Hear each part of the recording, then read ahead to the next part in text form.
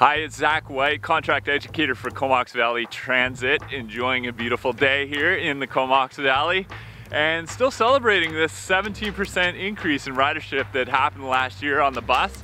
And most of that ridership is coming from commuters, people like me and you who take the bus every single day to and from work or from A to B, wherever they're going. That ridership is driving the development of our already amazing bus system, but it's getting better and better. And I'm here to encourage you to start using the bus on a regular basis, and there's a lot of reasons why. Number one, it's easy. Comox Valley Transit can get you to all five corners of the Comox Valley and even connect you to Campbell River System via Oyster River Exchange.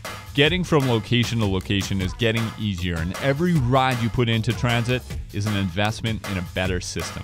If you work in downtown Courtenay, you should seriously consider commuting on the bus. The central hub, right here on Cliffe Avenue and 4th Street. How convenient. Reason number two, it's cheap. Buy a monthly bus pass and you'll spend even less.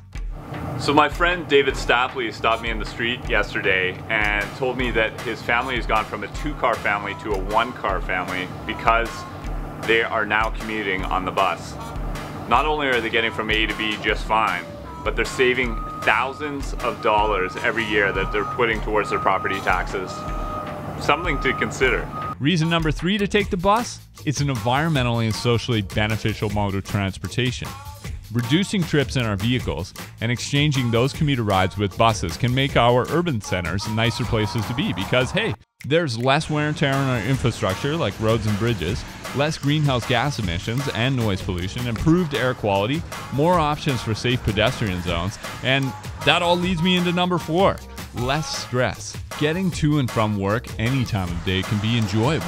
Read a book Write a whole series of books. Listen to music, meditate, chat with a fellow rider. Wear a blue wig and a pink shirt that says, I'm awesome because I ride the bus. Or not. Just be you. Riding the bus is a statement in itself that says, I've got a few better things to do than waste my time driving.